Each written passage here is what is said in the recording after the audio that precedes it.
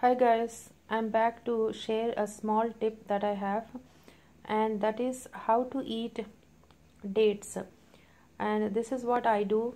Um, i got no i forgot the name. This kind of a container you need to have.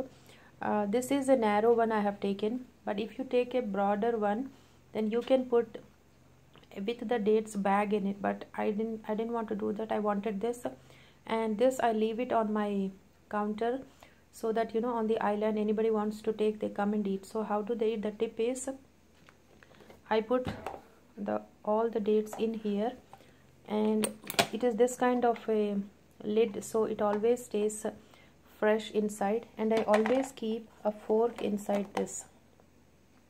So what happens is anybody wants to take they just take it and they're not putting the like you know you don't want to make the fork wet with your saliva just you pull the fruit and uh, that's it. Keep it back and close the lid and it's all done.